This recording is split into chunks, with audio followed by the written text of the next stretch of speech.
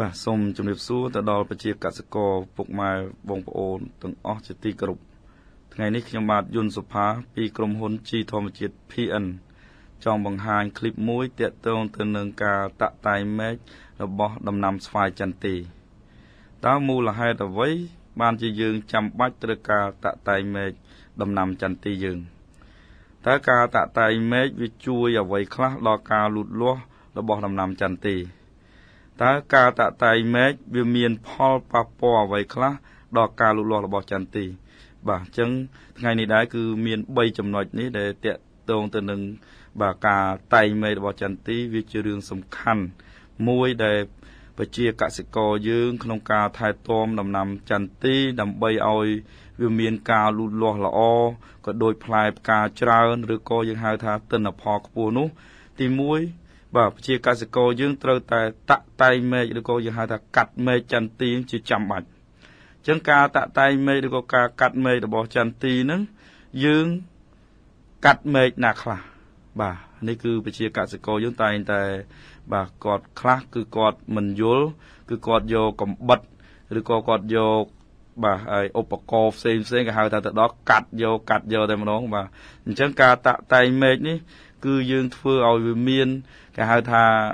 បាទផលចំណេញឬក៏គេហៅថាឲ្យដំណាំយើងលូតលាស់ល្អនោះ ទី1បាទយើងត្រូវប្រើឧបករណ៍រណាឬក៏កន្ត្រៃបាទកន្ត្រៃកាត់ទៅតាមលក្ខណៈបច្ចេកទេសបាទមិនមែនយើងយកកវិតផ្កាក់ឬក៏បថៅយកទៅកាប់មែកលះចោលនោះទេអញ្ចឹងការតាក់តែងមែកនេះគឺយើងតាក់តែងតែមែកណាដែលវាវែងពេក បាទវាយើងនិយាយពីកម្រិតនៃមែកដែលវាវែងរហូតដល់ជាង10ម៉ែត្របើសិនចន្ទទីយើងធំយើងត្រូវកាត់វាចោលការកាត់របស់មែកចន្ទទីនេះដែរយើងមិនមែនកាត់តែលះចុងហើយឲ្យវាលាស់ត្រួយធម្មតាទេបាទអ៊ំពូមីងបាទមែកដែលវែងពេកនេះដែលយើងសំដៅលើមែកដែលវាវែងហ្នឹងគឺយើងកាត់ឲ្យវាគៀកជាមួយទៅនឹងគល់តែម្ដងមានតែគៀកនឹងដើមបាទដើម្បីកុំឲ្យវាលាស់ខ្នែង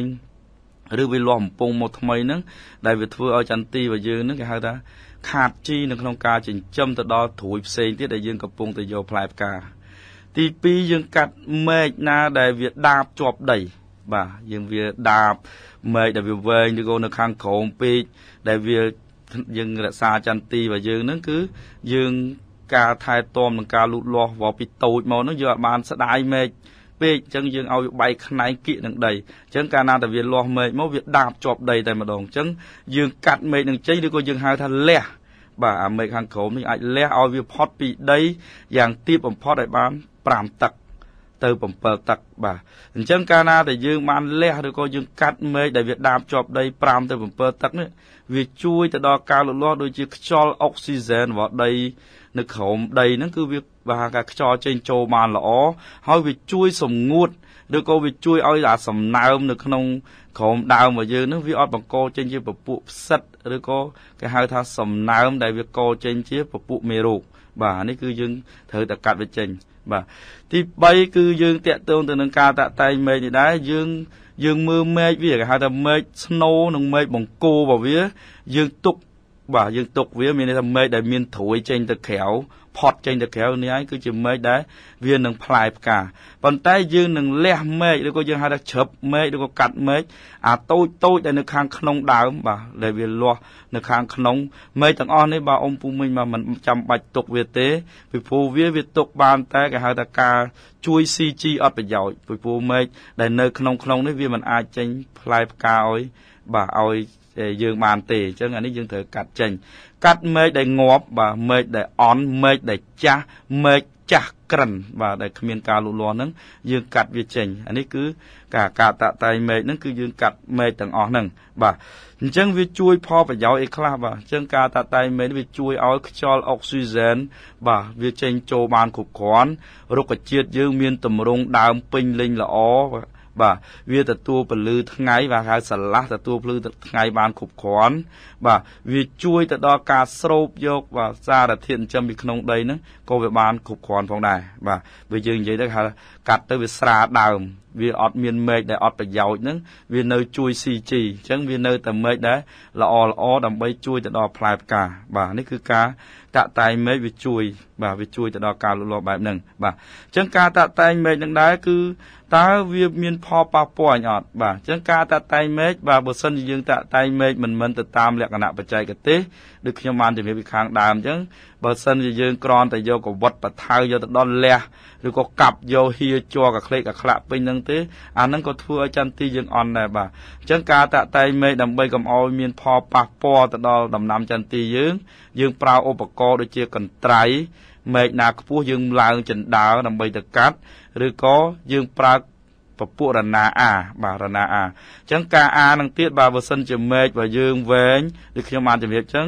ដើមវាអាធ្វើម៉េចឲ្យមកគៀកដើមបាទហើយការអាទៀតបើមែកធំយើងត្រូវអាលោកវាពីក្រោមសិនហើយបានយើងអាពីលើហ្នឹងបានការបាក់មែកមកវាអត់អាយ៉ះបាទវាអត់អាយ៉ះដើមអាយ៉ះមែកហ្នឹងធ្វើឲ្យខូចទៅដល់ដើមចន្ទទីរបស់យើងបន្ទាប់ពីហ្នឹងទៀតបាទអ៊ំពូមីងបាទវិធីដើម្បីជួយទប់កុំឲ្យវាឆ្លងទៅដល់មេរោគឬក៏ធ្វើឲ្យ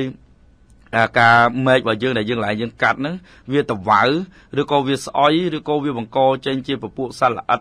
ស៊ីឬក៏ពុកនៅកន្លែងហ្នឹងដែលវាធ្វើឲ្យចន្ទទីរបស់យើងខូចមែកឬក៏យើងហៅថាវាខូចតម្រងដើមហ្នឹងគឺយើងត្រូវប្រើវិធីពីរយ៉ាងសំខាន់សំខាន់ទី1យើងយកកបោកសិកម្មបាទដូចជាកបោ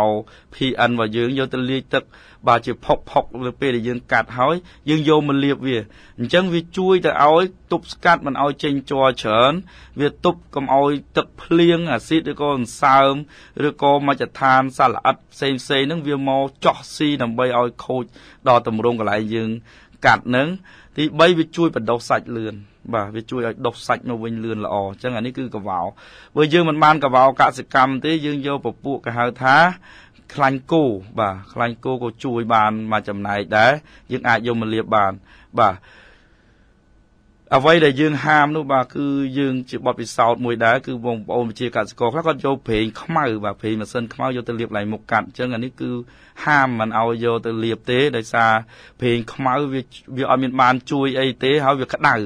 បាទអញ្ចឹងវាធ្វើឲ្យខូចដើមចន្ទទីយើងទៅវិញទេបាទ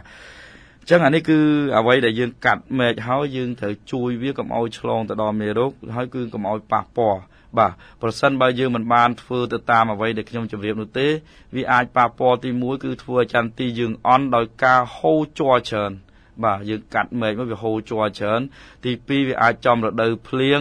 យើងគឺភ្លៀងមកវាធ្វើឲ្យឆ្លងទៅជាមេរោគបាទឆ្លងឲ្យទៅជាដើមនឹងវាអាលួយអាលៀកឬក៏សត្វល្អិតទៅជាជំរកសត្វល្អិតនៅកន្លែងដែលយើងកាត់នឹងបាន មួយទៀតគឺយើងពេលដែលយើងកាត់មែកតែយើងកាត់វែងពេកមានន័យថាដើមអញ្ចឹងយើងកាត់មករហូតទៅដល់មួយចំអាម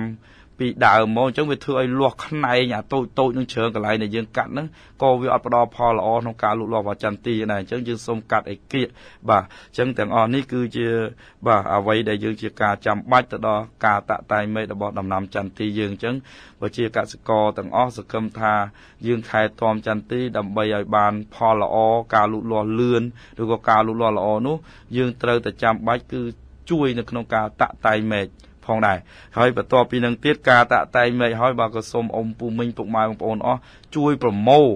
បាទមេឃដែលយើងកាក់តែងមែនហ្នឹងគឺអត់ឲ្យនៅក្រោមដើមចន្ទទីរបស់យើងទេ យើងអាចប្រមូលមកដាក់នៅកណ្ដាលកណ្ដាលឬក៏យកមកដាក់នៅ បាទនៅគេហៅថាព្រំនៅអីរបស់ដើមដំណាំឬក៏ចំការរបស់យើងដើម្បី